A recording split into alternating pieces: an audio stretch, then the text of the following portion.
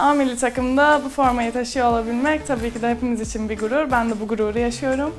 Ee, özellikle Ankara'da böyle büyük bir organizasyonda kendi seyircimizin önünde bu formayı taşımak hepimiz için ayrıca bir mutluluk.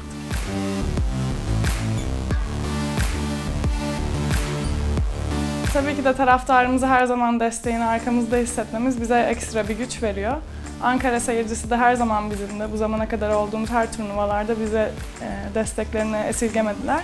E, tekrar aynı şekilde arkamızda olacaklarından eminim.